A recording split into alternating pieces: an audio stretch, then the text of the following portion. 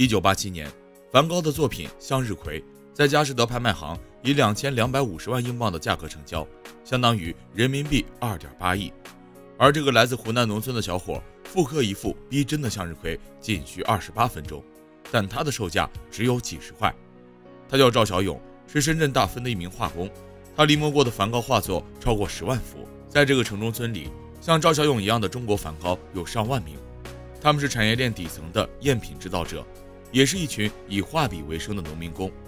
他们生产了超一百亿幅世界名作。鼎盛之时，中国生产了欧美市场百分之七十的油画，其中的百分之八十都来自大芬村的这群农民工之手。临摹一幅梵高的画作，画家可能需要几天时间，然而这些未接受过系统培训的农民工，只需要几小时甚至几十分钟。一九八九年。香港商人黄江带着二十几名画工来到大芬村，开始了国内少有的纺织名画生意，还招揽了许多佣金便宜的农民工。于是，这个毫不起眼的村落慢慢发展壮大，成了世界上最大的油画工厂，还形成了完整的产业链。这些目不识丁的农民以画笔为厨，养家糊口。他们不懂什么是艺术，只是跟工厂流水线一样，一人画一个局部，每天重蹈覆辙地做着同样的工作。他们在炎热的画室里挥汗如雨，订单多的时候睡觉都在这里凑合。练到后来，一个纯熟的画工甚至可以一边看电视一边作画，速度还丝毫不差。几十年下来，他们任何一个人手下的画作都比全世界任何一个职业画家的作品多。比如赵小勇，二十多年前，赵小勇从老家邵阳来到深圳打工。一开始，他干的是树脂厂上色工作，每天从早上六点干到晚上八点，月薪也才六百块。这时，一位老乡告诉他，有工友在大芬村画油画，每个月可以收入三千多，这让小勇眼馋不已，于是也踏入了临摹油画的行业。在经历了最初的摸索后，赵小勇发现，梵高的画订单最多，于是他开始一门心思的临摹梵高画作。手艺练出来后，赵小勇的生意就越来越多，他忙到自己都画不完，于是带起了徒弟。他的第一个徒弟是自己的妻子。之后，弟弟、小舅子也都被他带出道了。妻子专画星空和向日葵，弟弟专画咖啡厅，小舅子画自画像，而赵小勇自己什么都能画，几十分钟一张，草稿都不用打。这些年，梵高的画他早已熟透了，画的笔触每一抹颜色的明度和纯度，每一个用笔的细节，他都烂熟于心。赵小勇觉得自己冥冥中和梵高有些缘分，虽然一开始的目的是温饱。可画了十万张后，人们总会想摸到一些更高的东西，赵小勇也不例外。于是他开始看梵高的电影，了解他的生平。他有了新梦想，那就是出国去看梵高真迹。然而，最现实的原因永远是钱，路费很贵，开销很大，工作室单子源源不断，孩子还在上学，赵小勇憋得难受。于是他带家人去了趟世界之窗，坐在荷兰园里，让妻子拍了很多照片。在这里。他似乎离世界很近，又好像离世界很远。不过机会还是来临了，一位荷兰客户邀请他去阿姆斯特丹，他只需自己出来回机票就行，这让赵小勇兴奋不已。在说服妻子后，小勇回老家办护照签证。可酒过三巡后，男人却对着镜头流下眼泪。回的家还不完？嗯，我的兄弟，我这都小，他初中一年级的。我的梅毒了，妈妈是没钱。在种种现实面前，赵小勇早早失去了逐梦的机会，而如今，他似乎重新触摸到了那个向往的世界。怀着激动的心情，赵小勇登上了前往荷兰的飞机。站在阿姆斯特丹的街上，他更是举着手机拍个不停。不过很快，赵小勇的笑容就消失了。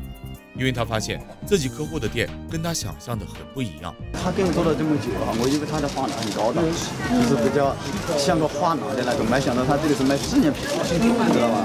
没想到是卖纪念品。赵小勇没有想到，这里居然是一个人来人往、自由选购的纪念品。商店，而他的画作就像白菜一样任人挑选。更令人难受的是，这些卖几十几百欧的画，他最终也只能拿到个零头。客户倒是热情拥抱了他。还说他的话，如果跟美术馆里的调换，别人肯定看不出真假。赵小勇只有苦笑，他的世界仿佛有什么东西在渐渐崩塌。第二天，赵小勇终于去了美术馆，这次他终于站在了梵高真迹面前。可看了许久后，赵小勇只说了一句话：颜色不一样。原来，在镜头、电脑的反复冲刷下，赵小勇看到那些画作图片早已失了真，赝品终究还是赝品。他原以为自己已经炉火纯青，以真画境，可站在大师真迹面前，明显的差距还是给他带来了巨大冲击。他自认为心灵相通，结果大师的画在美术馆受人瞻仰，自己的却只能摆在纪念品销售处。在和美术馆的保安聊天时，对方听说赵小勇画了二十年的梵高，兴奋地问他：“那你自己有什么作品？”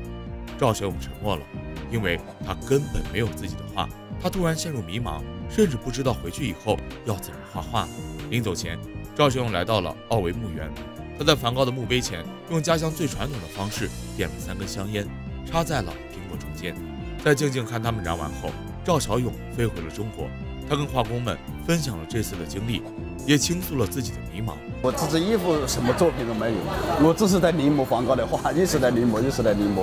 毕竟我们是一个画工，知道吗？